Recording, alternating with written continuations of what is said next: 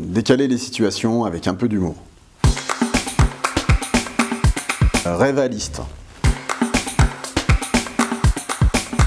Après-midi Ah, Kung Fu. Échange, patience et compromis. Anguille. Film. Trouver des solutions. Expo. Avion. Arrêtez de fumer. Café. Poisson. Les mots des enfants qui ont souvent du sens. Réagir. Danseur.